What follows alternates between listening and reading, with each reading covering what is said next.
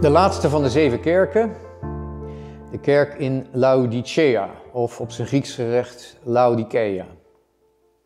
Lees dat maar eens even goed door, want uh, die zevende brief die is nogal heftig.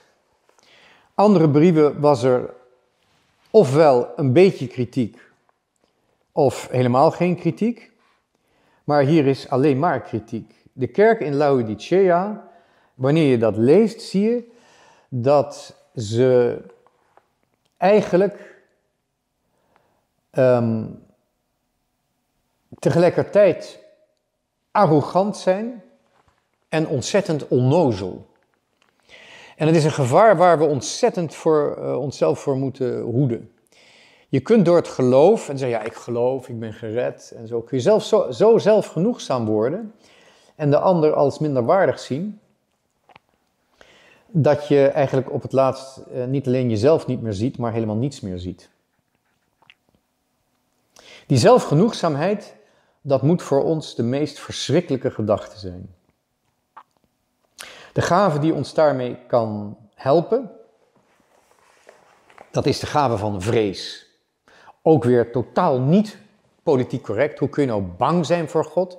Nee, je, kunt ook niet, je hoeft niet bang te zijn voor God, maar omdat hij een almacht is die je niet kunt zien en die je wel kunt teleurstellen, die je kunt kwetsen, is het heel goed om te vrezen. Net zo goed als dat je, als je een omaatje over een zebra helpt, dan heb je toch wel uh, een beetje vrees nodig. Want uh, ja, je kunt er been breken, uh, je, ja, je, je, kunt een ongeluk veroorzaken. Dus het is heel goed om een beetje te vrezen. Net als goed in de bergen.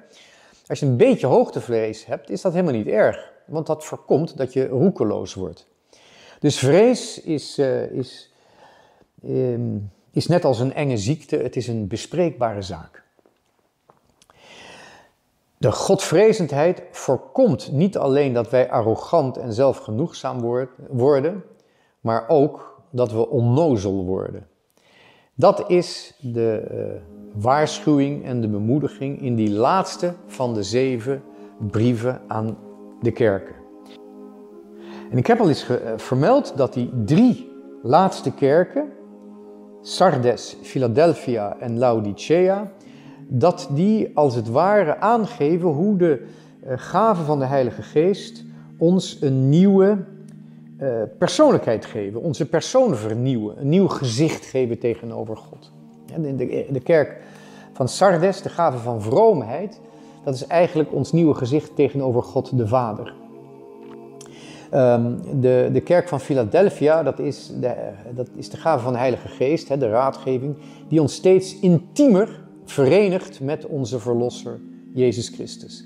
Terwijl de gave van vrees, die ons arm houdt in de geest, ja, dat is eigenlijk hoe ons nieuwe gezicht van binnenuit wordt vernieuwd door de Heilige Geest, als we die Heilige Geest maar toelaten. Door niet uh, arrogant of zelfgenoegzaam te worden en ook door niet onnozel te willen zijn.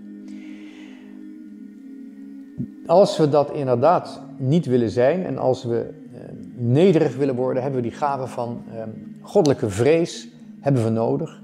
En dan gaat die Heilige Geest ons van binnenuit een nieuw gezicht geven tegenover God, tegenover God de Vader, tegenover God de Zoon in de Heilige Geest.